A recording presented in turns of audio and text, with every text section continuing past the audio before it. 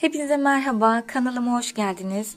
Bugün sizlere çok önemli ve değerli bir çiçeği tanıtacağım. Atatürk çiçeği arkadaşlar. Bu güzel çiçeğin ana vatanı Meksika.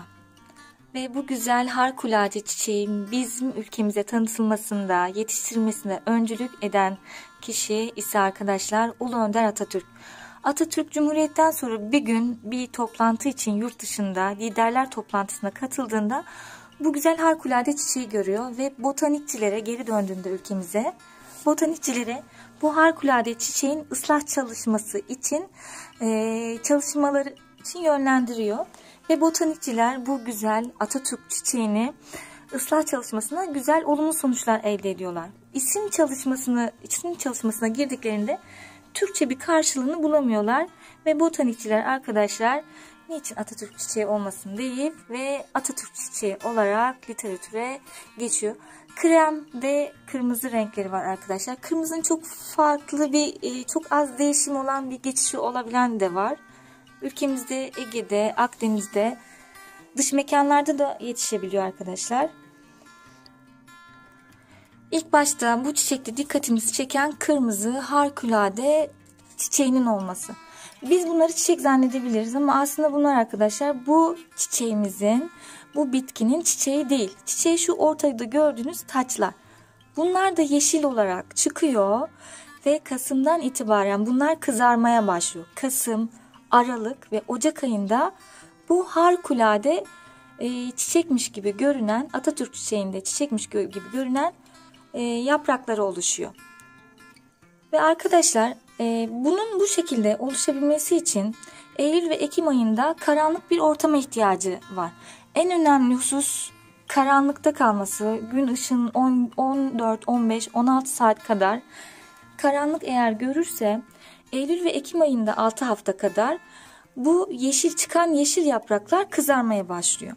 Siz eğer gün ışığında çok bekletirseniz 12 saatten fazla gün ışığında kalırsa bu yaprakları kızarmıyor arkadaşlar. 12 saatten fazla Eylül ve Ekim ayında e, bir oda karanlık odada ya da bir kutu içinde bekletebilirsiniz. Bir de arkadaşlar sulama çok önemli Atatürk çiçeğinde.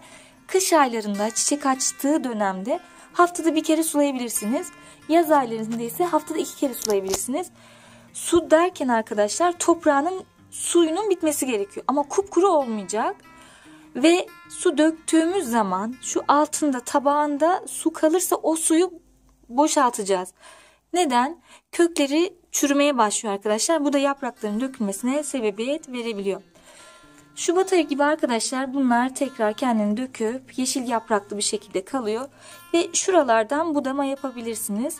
Ama eğer tohum almak istiyorsanız bunu böyle bırakıyorsunuz. Şu küçücük e, taçları, şunları arkadaşlar çiçekleri ne alıp Nisan Mayıs ayı gibi kurutup buzdolabında birkaç ay iki ay gibi bekletip Eylül gibi de dikebilirsiniz arkadaşlar. Çok güzel bir çiçek. Çok harikulade bir çiçek. Evlerinizi şenlendiren bir çiçek. Evlere neşe veren bir çiçek arkadaşlar. Isıya çok dikkat etmemiz gerekiyor. Evet karanlığı seviyor. Fakat arkadaşlar aydınlığı seven bir çiçek. Hani onun dışında 14-15 saat bu Eylül-Ekim ayı gibi bıraktığımız zaman daha sonra arkadaşlar gün içerisinde aydınlık bir ortamda olması gerekiyor. Bakın benim şu anda e, bu tarafta ışık var. Güneşi sevmiyor. Aydınlığı seven bir çiçek arkadaşlar. Sıcaklığı sevmiyor. Yani çok sıcak ya da çok soğuk olan bir ortamda bırakmayacağız ve kış aylarında kaloriferli maalesef kaloriferli bir odada bu çiçeğimizi bırakmayacağız. Yoksa yapraklarını dökebiliyor. Balkona da almayacağız. Soğuktan bu sefer yapraklarını dökebiliyor.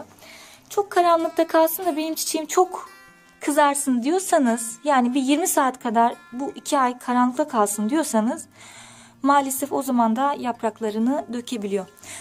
Dikkat etmemiz gereken husus sulamaya dikkat ediyoruz. Kesinlikle su biriktirmiyoruz. Çok kurutmuyoruz.